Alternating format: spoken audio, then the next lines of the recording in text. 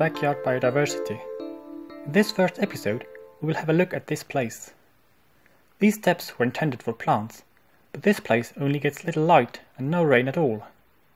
After some unsuccessful attempts to grow flowers here, this place was simply left empty and turned completely desert, or so we first thought. There might not be any plants, but it turns out quite a few species of arthropods are now living here, so let's have a closer look. For example, there are spiders. For a short time, around July-August, there are plenty of these insects emerging from the ground. I don't know which species this is, but it's probably a spider wasp. They hunt spiders. See this?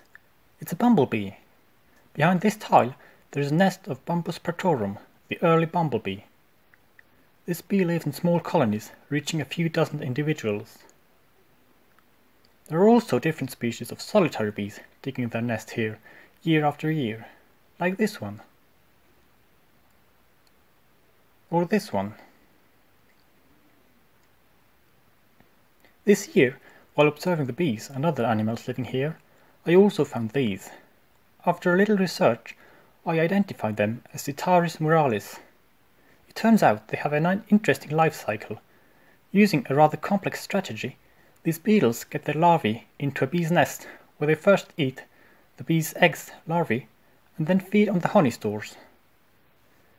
It's a very interesting species, but it's a parasite on bees, and I like bees, so I'm not sure if I'm happy about having this species here. But however interesting they might be, we're not going to be looking at any of these animals today. Today I will present you the species living in these pits. I started noticing them a few years after the place turned dry. There are actually two different species building such pits here. One building small, steep pits, the other building larger and more open pits. Let's first have a look at the smaller pits.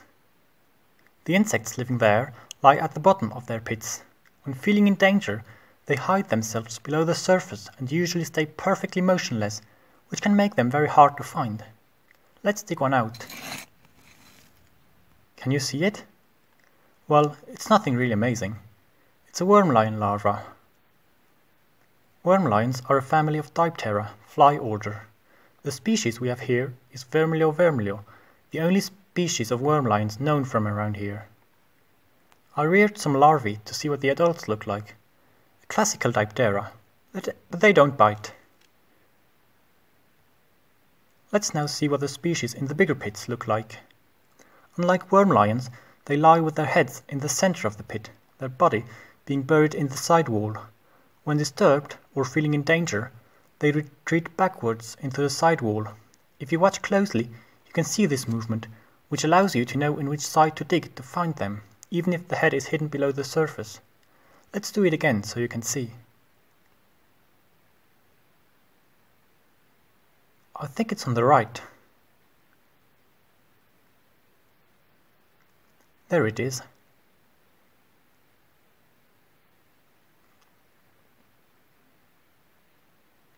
Once more. Oh, I thought it was a prey. Well, now we know where it is.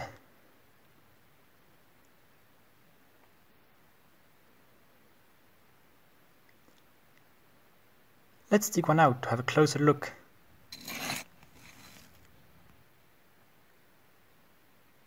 It's an antlion larva. The species we have here is Euroleon nostras, the most common species of antlions in urban areas around here. They don't like being exposed like that, so if they are put back on the ground, they will soon dig themselves in again. They always move backwards.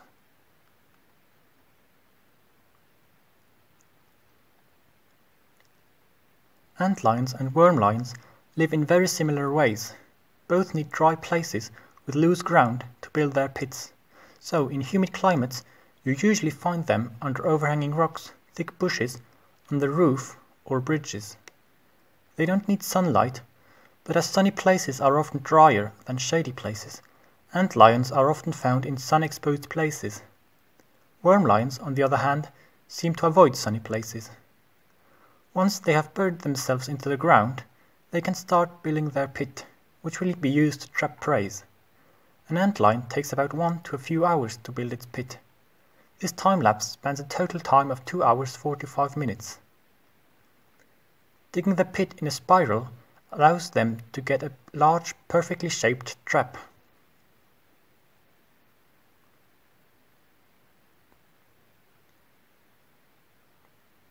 This is what it looks like in real time.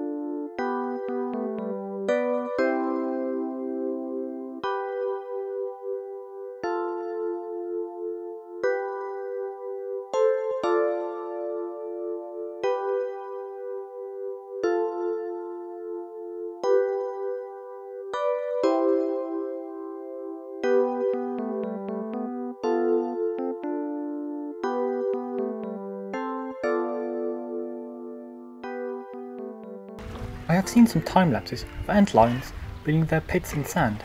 It looks really great, so I wanted to try it too. We don't have any sand in our backyard, but we do have a lake with a beach nearby.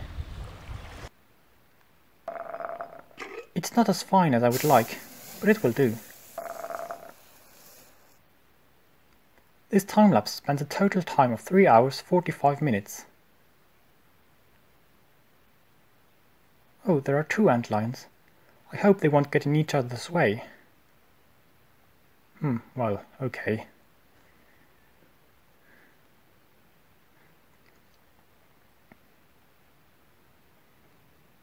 What I didn't mention before is that they usually don't start building their pits right away.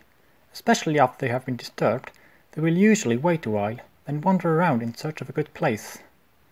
To illustrate this, I added many ant lions and filmed the whole surface it turned out they were a little too crowded, but the resulting time-lapse is still very interesting. So, here you have 18 hours of antlions trying to build their pits in an overcrowded space.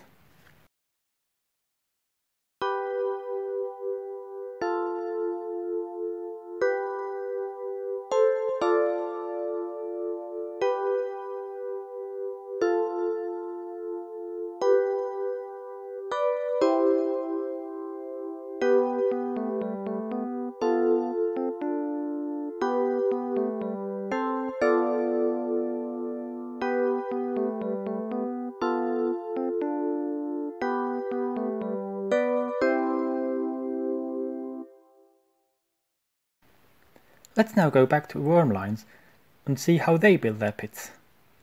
It's not as impressive as ant lions. Oh, that's a big chunk. Will the wormlion be able to throw it out? Don't give up. There you go. The way they build their pits leads to differently shaped pits depending on the ground. Large and conical, like antlion pits, if the ground is sandy, and deep with steep walls if the ground is powdery and doesn't easily collapse.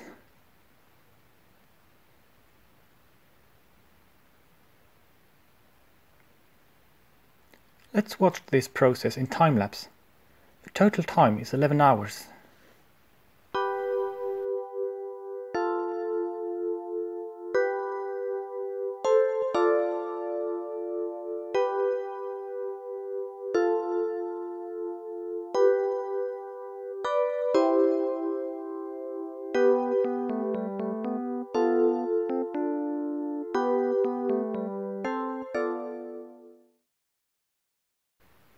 This is what a wormlion colony looks like once every larva has built its pit.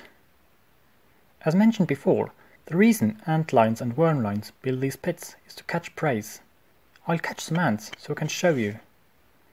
This is the black garden ant. It is extremely common in gardens.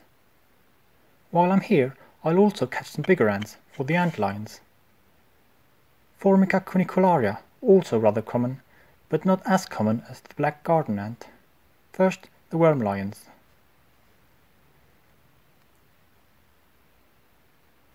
Oh, it escaped. Well, maybe next time.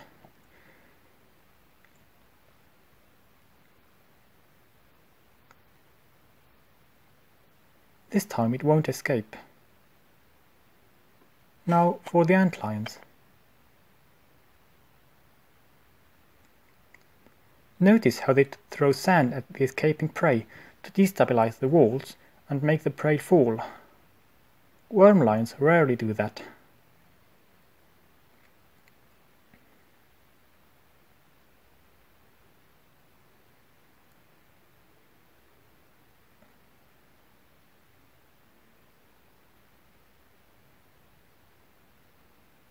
Now let's feed them until they become adults to see what they look like.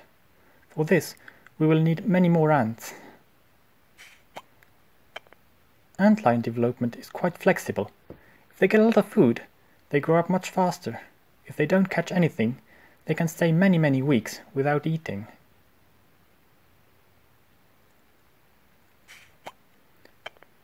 But even if you feed them a lot, it takes a while until they turn adults.